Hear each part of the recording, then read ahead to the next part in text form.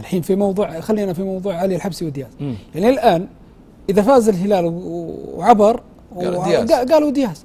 إذا فشل قالوا ال ال ال الإدارة كانت على حق وعلي الحبسي وكذا. فبالتالي ولكن ما إحنا الآن ما إحنا في لو إحنا في نهاية الأمر من سيدفع الثمن؟ يعني الجمهور والكرة السعودية والأندية. يعني أمام الأندية السعودية اللي هي الأهلي والهلال فرصة إن الوصول إلى دور الأربعة والوصول إلى النهائي وتحقيق آه، إنجاز للكرة السعودية والمشاركه في آه، مونديال كأس العالم. فهذا منجز كبير يعني.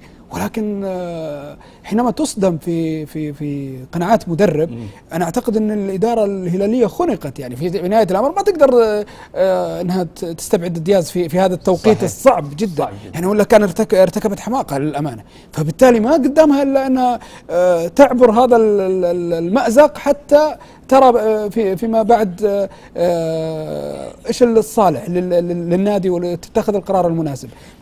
اللي قاعد يصير إنه في مدربين للأمانة يعني يتخذون قرارات عجيبة غريبة. أنا شفتها في النصر في زوران. يعني زوران آه، كان غريب أطوار في في في قراراته وللأمانة كانت الإدارة مسكته كل شيء. يعني كانت مسكته كل شيء. ورغم ذلك آه، خذل الإدارة وخذل هذه الصلاحية والرجل راح بحث عن العرض الأفضل وترك النادي وترك كذا فبالتالي بس آه بس حقق يعني حقق زوران نتائج؟ ما لا مع احترامي وتقديري اللي يقول حقق هم يرون إيش تحقيق. لما يفوز على الهلال ولا يفوز على الفرق الكبيرة يا أخي أنت اللي كسبك الدوري الفرق المتوسطة. زوران خسر 14 نقطة مع فرق متوسطة غير منافسة على الدوري. بسبب يعني قناعاته؟ بسبب قناعاته يعني النصر خسر الموسم الماضي 14 نقطة مع زوران في مع أندية متوسطة وهي اللي طيب. اللي فرقت مع النصر في في نهاية الدوري. طيب